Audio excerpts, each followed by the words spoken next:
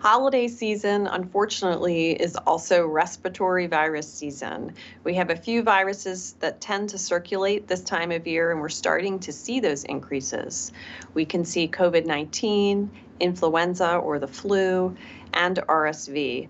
Those viruses can be mild illnesses for most people, but can be serious for some, like very small children or older adults or people with chronic medical conditions that might place them at greater risk for more serious illness.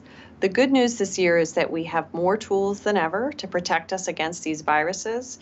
We have vaccines for all three viruses COVID 19, the flu, and RSV for COVID 19 and the flu, everyone six months of age and older is eligible to get a vaccine. So I encourage you to talk to your doctor about the timing of that and when uh, to start that vaccine in case you haven't gotten it already.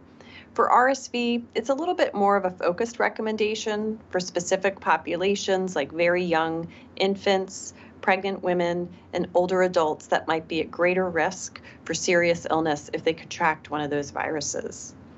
There are other things we can do in addition to the vaccine strategy to protect us and keep us healthy this time of year. Staying home when you're sick is one of the most powerful things you can do to protect yourself and your friends and your family from transmitting these viruses amongst each other at the holiday dinner table.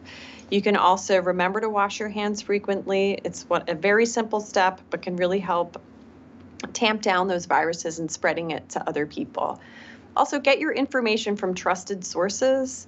You can talk to your doctor, a trusted friend, but also go to our website where you can get lots of information at vdh.virginia.gov.